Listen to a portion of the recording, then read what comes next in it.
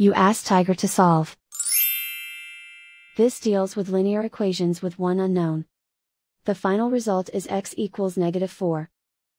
Let's solve it step by step. Simplify the expression.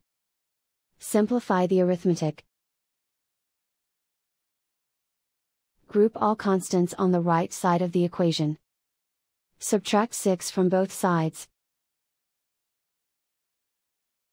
Simplify the arithmetic.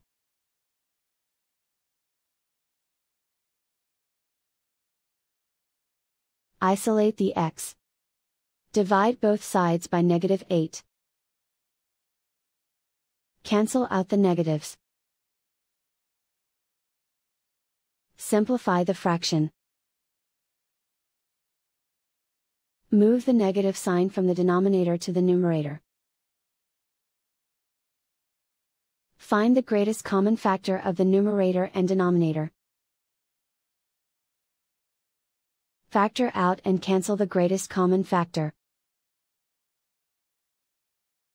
And so the final result is x equals negative 4.